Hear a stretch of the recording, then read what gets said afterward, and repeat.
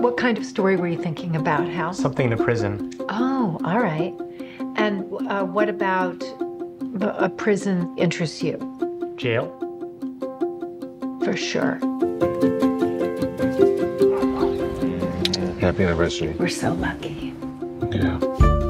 So, Elliot tells me you're a writer. Your last one, it should have done better. There's lots of new voices refugees, cancer, murder, abuse. I'm an old voice. You're the best voice. Maybe if Dad hadn't just been verbally abusive, it would have been a bestseller. Don't say that. Your memoir is great. Your new book is great. How are you? Feeling a little off my game. The only reason she makes me a salad is because she wants me to lose weight, which is passive aggressive. I want you to be healthy. Doesn't can, matter. Can you shut Any- up and keep talking? Don, you want to intervene here? We can do this at home. Maybe Milani looks tired. I'm aging. What are you, nuts? Can You get Botox?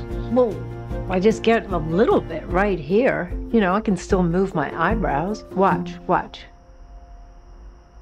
It's so expressive.